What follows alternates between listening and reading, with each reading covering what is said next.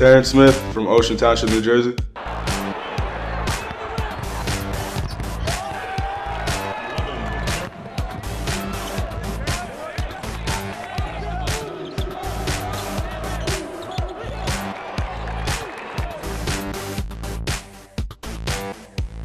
Um, J. Cole, uh, hip hop, and uh, Jersey club music. I don't know if I compare my game to anyone, but uh, my favorite player is Kyrie Irving, so I like to watch him a lot, and um, Damian Lillard.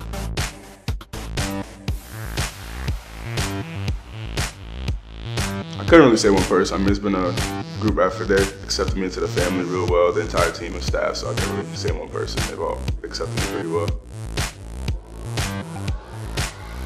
I just think this program could uh, be really good in the, in the future. I think uh, it's on the rise. Coach Ferry is put, moving in the right direction, and um, the guys on the team are really cool, and um, that's just what I like about it.